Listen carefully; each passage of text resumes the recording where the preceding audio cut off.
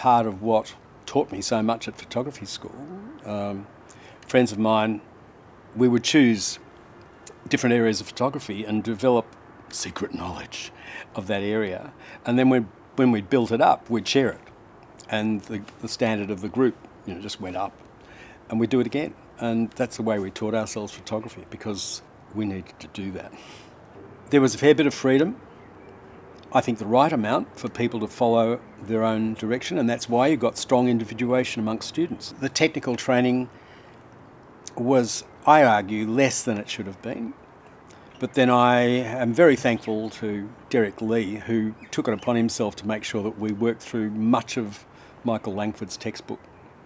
And that was the primary technical training that we had. And I still draw on that today, and I'm very thankful that in a time of laissez faire, someone had the insight or the willingness to say, no, we need a bit of structure here, and he gave it to us. We would make discoveries that are often cultural, like the Germans produced lenses that were about volume.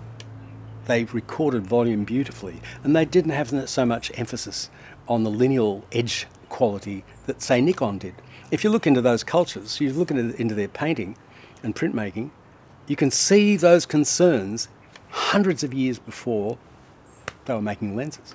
We would choose film and lens combinations to do, do with that.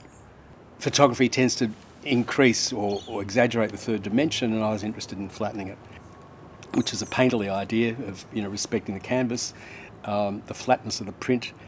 I didn't want to take that to an exaggerated degree, but it informed what I did.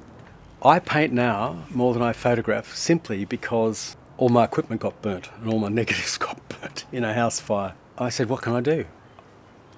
I can go back to painting. it's cheap. I can do it with little resources and I can use my knowledge.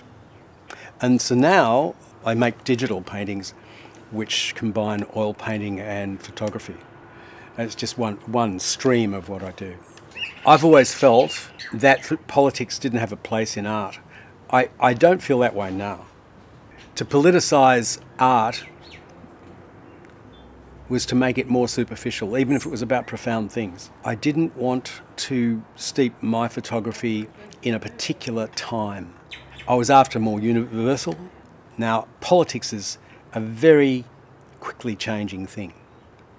What is true now in a day or two is not.